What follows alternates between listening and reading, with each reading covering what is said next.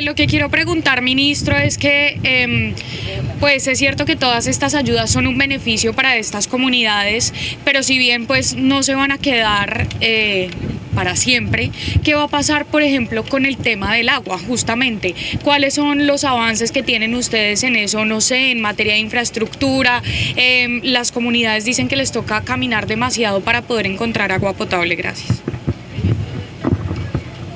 En efecto, es una de las grandes preocupaciones del gobierno del presidente Duque y una, prioridad, y una de las prioridades en lo que tiene que ver con esta región de Colombia.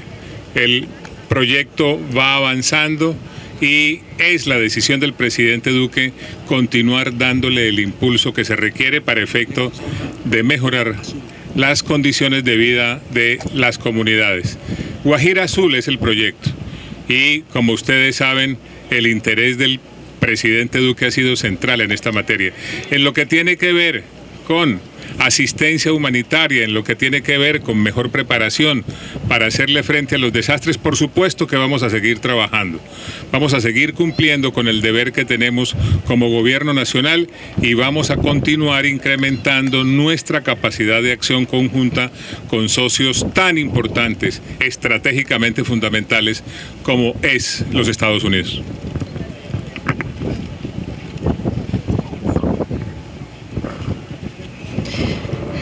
Siguiente pregunta, Didier Chica, CMI. Muy buenos días o buenas tardes para todos. Eh, tengo una pregunta para el ministro Carlos Holmes y otra para el señor embajador Goldberg. Eh, ministro, primero sobre la situación eh, que se está dando hoy aquí, cómo hacer para que esto no se interprete posiblemente por Venezuela como una provocación la presencia de los militares de Estados Unidos tan cerca de la frontera. Y para el embajador, sobre otro tema, señor embajador, sobre el tema de los cultivos ilícitos, que hubo un nuevo informe de Estados Unidos en el cual demuestra que los cultivos no han descendido en ese sentido, eh, ¿qué nuevas acciones hay para ayudar a Colombia en el tema de la disminución de los cultivos ilícitos? Con respecto a la primera pregunta, Colombia cumple con su deber como nación y para efecto de cumplir con su deber como nación acude a los países amigos y en este caso se ha acudido a la acción conjunta con los Estados Unidos para efecto de mejorar nuestra capacidad de acción conjunta a efecto de atender crisis humanitarias. Esa es la razón de ser de este ejercicio, atender de manera humanitaria asuntos vinculados con la salud de esta comunidad. Y por supuesto, que vamos a continuar trabajando en el incremento de la interoperabilidad de nuestras fuerzas para efecto de hacerle frente a las amenazas, a las amenazas que nos acechan. Es decir, la razón de ser de este ejercicio combinado y conjunto es, primero, humanitario y segundo, interoperabilidad, porque es lo que nos corresponde hacer como nación.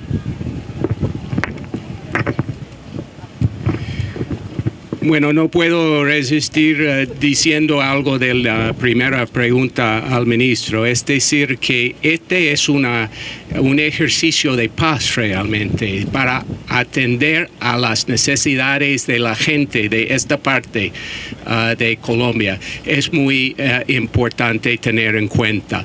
Es, es uh, un ejercicio para llevar más ayuda médica a toda la gente. Segundo, en cuanto de ah, eh, la, eh, la, hoja de coca y ah, la droga, ah, puedo decir lo siguiente. Colombia es una, un socio eh, clave, importante, ha hecho una tarea tremenda para erradicar en el año pasado sigue siendo el mismo. Son uh, eh, eh, el, hecho que uh, uh, en, en, que todos nosotros hemos participado es eh, tremenda. Y eh, hay otras eh, otras partes del esfuerzo este año. Estamos viendo adelante para empezar la, la, fumigación, la erradicación aérea y para hacer aún más.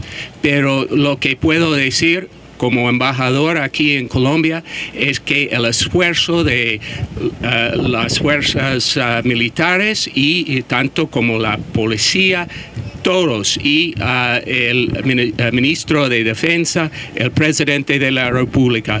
es algo que admiramos y vamos a continuar trabajando en conjunto.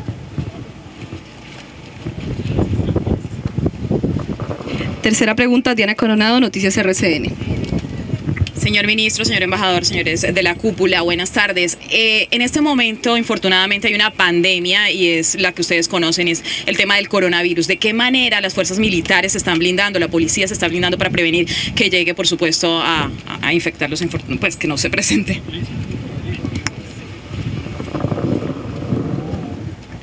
El, gobierno del presidente Duque ha venido tomando todas las medidas necesarias para efecto de contener el coronavirus en nuestro territorio.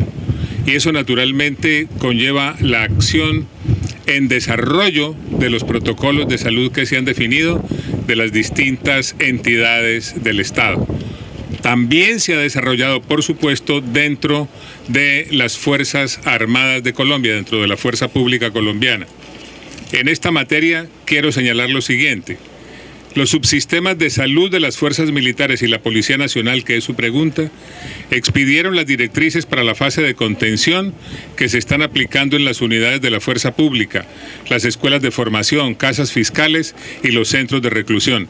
Estas directrices antes de ser expedidas, fueron coordinadas y validadas con el Ministerio de Salud. En segundo lugar, las directrices expedidas se han socializado en todos los niveles del mando. En tercer lugar, los subsistemas de salud de las fuerzas militares y la Policía Nacional están preparados para atender, orientar y orientar de acuerdo a los lineamientos del Ministerio de Salud a los usuarios que soliciten atención. En cuarto lugar, se están realizando campañas de difusión de la información y medidas en la etapa de contención previstas por el Ministerio de Salud para la población del Ministerio de Defensa y la Fuerza Pública, que es el objeto de la pregunta, lavado de manos, identificación de síntomas, teletrabajo en caso de síntomas y otras acciones. En quinto lugar, la DIMAR, como autoridad marítima, da cumplimiento a la instrucción de no desembarco de cruceros en territorio colombiano. En sexto lugar, se hace un monitoreo del personal en comisión en el exterior con el fin de aplicar la medida de aislamiento preventivo cuando ello sea procedente.